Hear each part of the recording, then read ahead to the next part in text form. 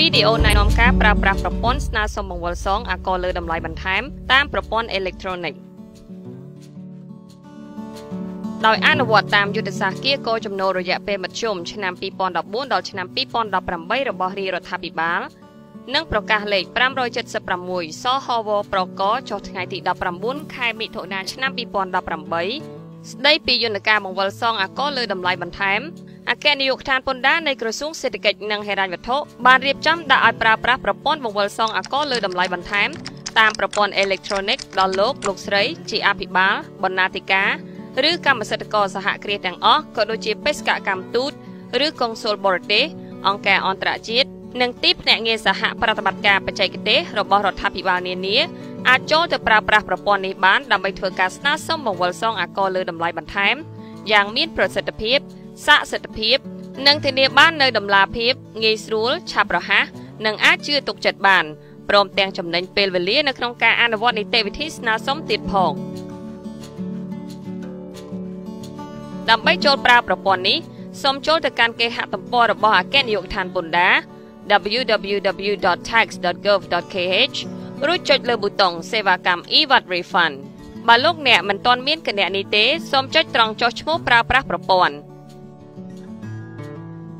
សូមបំពេញនាមត្រកូលជាអក្សរខ្មែរនាមខ្លួនជាអក្សរខ្មែរនាមត្រកូលជាអក្សរឡាតាំងនាមខ្លួនជាអក្សរឡាតាំងលេខទូរស័ព្ទ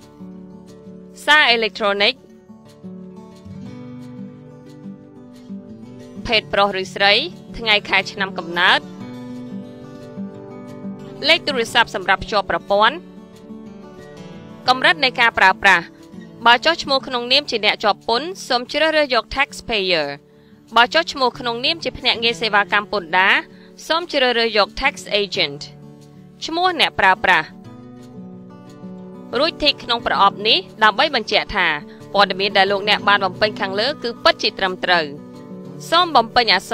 រឬលេខក្នុងប្រអប់នេះឲ្យដូចអ្វីដែលអ្នកបានឃើញនៅខាងស្ដាំវា រហូតដល់បង្ហាញពាក្យថា correct រួចចុចប៊ូតុងបញ្ជូនប្រព័ន្ធនឹងផ្ញើឈ្មោះអ្នកប្រើប្រាស់និងលេខសម្ងាត់ទៅកាន់លេខទូរស័ព្ទ និងសារអេឡិចត្រូនិកដែលលោកអ្នកបានបំពេញខាងលើសូមចម្លងឈ្មោះអ្នកប្រើប្រាស់និងលេខសម្ងាត់នោះចូលក្នុងប្រអប់ហើយចុចប៊ូតុងចូលប្រើប្រព័ន្ធនឹងផ្ញើលេខកូដ6ខ្ទង់ចូលក្នុងទូរស័ព្ទនិងសារអេឡិចត្រូនិកម្ដងទៀតសូមចម្លងលេខកូដនោះចូលក្នុងប្រអប់រួចចុចប៊ូតុងបញ្ជូនសូមចុចត្រង់បង្វិលសងពន្ធអូតូប VAT មកដល់ចំណុចនេះលោកអ្នកអាចបដូរភាសាប្រើប្រាស់ឧទាហរណ៍ភាសាខ្មែរឬភាសាអង់គ្លេសទៅតាមតម្រូវការជាក់ស្ដែងរបស់លោកអ្នកការបំពេញលេខ IP address សូមបញ្ចូលតំណភ្ជាប់នេះនៅក្នុង web browser រួចចុច enter នេះជាលេខ IP ដែលត្រូវប្រើសូមបំពេញលេខ IP ចូលក្នុងប្រអប់លេខអត្តសញ្ញាណកម្មសារពើពន្ធលេខកាតសម្គាល់ការចុះបញ្ជីពន្ធដារ លេខទូរស័ព្ទបណ្ណាធិការដែលបានឈរឈ្មោះលើបតង់ចុះបញ្ជីពន្ធដារចុចប៊ូតុងបន្ទាប់ប្រព័ន្ធនឹងផ្ញើលេខកូដ6ខ្ទង់ទៅកាន់លេខទូរស័ព្ទនិងសារអេឡិចត្រូនិករបស់អ្នកប្រើប្រាស់និងបណ្ណាធិការដែលបានឈរឈ្មោះលើបតង់ចុះបញ្ជីពន្ធដារសូមចម្លងលេខកូដចូលក្នុងប្រអប់រួចចុចប៊ូតុងផ្ទៀងផ្ទាត់ហើយចុចប៊ូតុងអូខេក្នុងករណីលោកអ្នកភ្លេចពាក្យសម្ងាត់សូមចុចលើពាក្យភ្លេចពាក្យសម្ងាត់ រួចបំពេញឈ្មោះអ្នកប្រើប្រាស់បំពេញលេខទូរស័ព្ទអ្នកប្រើប្រាស់រួចចុចប៊ូតុងបញ្ជូនប្រព័ន្ធនឹងផ្ញើពាក្យសម្ងាត់ថ្មីចូលទូរស័ព្ទរបស់អ្នកប្រើប្រាស់សូមវាយបញ្ចូលពាក្យសម្ងាត់ថ្មីនោះចូលក្នុងប្រអប់រួចចុចប៊ូតុងបញ្ជូនជាការស្រេចបើលោកអ្នកចង់បដូរពាក្យសម្ងាត់សូមចុចបដូរពាក្យសម្ងាត់រួចបំពេញព័ត៌មានខាងក្រោមឲ្យបានត្រឹមត្រូវដូចជាឈ្មោះអ្នកប្រើប្រាស់ពាក្យសម្ងាត់ចាស់ពាក្យសម្ងាត់ថ្មី និងបញ្ជាក់ពាក្យសម្ងាត់ថ្មីម្ដងទៀតឲ្យដូចគ្នា ហើយចុចប៊ូតុងបញ្ជូនជាការស្រេចពេលចូលក្នុងប្រព័ន្ធជោគជ័យហើយអ្នកប្រើប្រាស់នឹងឃើញព័ត៌មានផ្លូវការនៃក្រុមហ៊ុនដែលលោកអ្នកចង់ធ្វើការស្នើសុំបង្វិលសងអាករលើតម្លៃបន្ថែមសូមចុចប៊ូតុងបញ្ជីទិញលក់ដើម្បីវាយបញ្ចូលនៅព័ត៌មានការទិញនិងការលក់របស់ក្រុមហ៊ុន និងសហគ្រាសរបស់លោកអ្នកឧទាហរណ៍ការទិញសម្រាប់ខែវិច្ឆិកាឆ្នាំ2018 រួចចុចប៊ូតុងបន្ថែមថ្មីជ្រើសរើសកាលបរិច្ឆេទដែលមានលើវិក័យប័ត្រទិញទំនិញ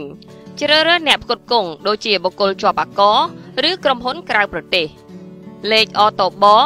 នោះឈ្មោះក្រុមហ៊ុននឹងបង្ហាញដោយស្វ័យប្រវត្តិបំពេញលេខវិក័យប័ត្រឬប្រតិវេតគយតម្លៃរួមអូតូបជាប្រាក់រៀលឧទាហរណ៍500លានរៀលបើជាបន្ទុករបស់រដ្ឋសូមធីកប្រអប់ទឹកប្រាក់អូតូបបន្ទុករដ្ឋ ហើយចុចប៊ូតុងរក្សាទុកសូមចុចប៊ូតុងបន្ថែមថ្មីដើម្បីបញ្ចូលវិក័យប័ត្រទិញទំនិញផ្សេងៗទៀតដែលលោកអ្នកមាន ដោយអនុវត្តដូចលំនាំខាងដើមបញ្ជីលក់ទំនិញសូមចុចប៊ូតុងបន្ថែមថ្មីជ្រើសរើសកាលបរិច្ឆេទដែលមានលើវិក័យប័ត្រលក់ទំនិញជ្រើសរើសអ្នកទិញដូចជាបុគ្គលជាប់អាករឬបុគ្គលមិនជាប់អាករឬក្រុមហ៊ុនក្រៅប្រទេសលេខអូតូបនោះ ឈ្មោះក្រុមហ៊ុននឹងបង្ហាញដោយស្វ័យប្រវត្តិបំពេញលេខវិក័យប័ត្រឬប្រតិវេតគយតម្លៃរួមអូតូបជាប្រាក់រៀលឧទាហរណ៍200លានរៀលបើជាបន្ទុករបស់រដ្ឋសូមធីកប្រអប់ទឹកប្រាក់អូតូបបន្ទុករដ្ឋហើយចុចប៊ូតុងរក្សាទុកពេលបានបញ្ចូលព័ត៌មានទិញលក់រួចរាល់ត្រឹមត្រូវអស់ហើយសូមលោកអ្នកចុចលើទំព័រដើមហើយចុចលើប៊ូតុងបង្កើតសំណើសុំ សូមជ្រើសរើសខែឆ្នាំ ដែលលោកអ្នកចង់ស្នើសុំបង្វិលសងហើយចុចប៊ូតុងបង្ហាញទិន្នន័យសូមលោកអ្នកពិនិត្យមើលចំនួនទឹកប្រាក់អូតូបលើធាតុចូល ចំនួនទឹកប្រាក់អូតូបលើធាតុចេញ និងចំនួនទឹកប្រាក់អូតូបដែលត្រូវស្នើសុំបង្វិលសងឲ្យបានត្រឹមត្រូវរួចចុចប៊ូតុងរក្សាទុកបើមានឥណទានយោងពីខែមុនសូមចុចប៊ូតុងមាន ហើយចុចប៊ូតុងនេះដើម្បីបញ្ចូលទឹកប្រាក់ឥណទានយោងត្រង់ចំណុចនេះលោកអ្នកអាចបញ្ចូលជាទឹកប្រាក់ឥណទានយោងតែម្ដងឬស្រង់យកទឹកប្រាក់តាមរយៈ barcode សម្គាល់ឥណទានយោងដែលលោកអ្នកធ្លាប់បានបង្កើតទុករួចហើយក៏បានឧទាហរណ៍ការបញ្ចូលទឹកប្រាក់ឥណទានយោងរួចចុចប៊ូតុងរក្សាទុកនោះប្រព័ន្ធនឹងកណនាដោយស្វ័យប្រវត្តិហើយបង្ហាញនៅទីនេះរួចចុចប៊ូតុងរក្សាទុក តើលោកអ្នកចង់បង្កើតជាពាក្យស្នើសុំបង្វិលសងអូតូបឬឥណទានយោងបើចង់បង្កើតវាជាឥណទានយោងសម្រាប់ខែក្រោយក្រោយទៀតសូមចុចប៊ូតុងឥណទានយោងនោះប្រព័ន្ធនឹងបង្កើតរបាយការណ៍ឥណទានយោងមួយដែលមាន barcode សម្រាប់ប្រើប្រាស់នៅខែក្រោយក្រោយទៀតដោយគ្រាន់តែបញ្ចូលលេខ barcode នោះរួចស្វែងរកតែប៉ុណ្ណោះតែបើចង់បង្កើតពាក្យស្នើសុំបង្វិលសងអូតូបតែម្ដង សូមចុចប៊ូតុងពាក្យស្នើសុំបង្វិលសងសូមពិនិត្យព័ត៌មានដែលបានបង្ហាញក្នុងពាក្យស្នើសុំបង្វិលសងអាករលើតម្លៃបន្ថែមនេះឲ្យបានច្បាស់លាស់បើពិនិត្យហើយឃើញថាត្រឹមត្រូវសូមបោះពុម្ពពាក្យស្នើសុំនេះហើយភ្ជាប់ឯកសារតម្រូវមួយចំនួនដូចជា ច្បាប់ដើមនៃប្រតិវេតគយនាំចូលករណីសហគ្រាសធ្វើការនាំចូល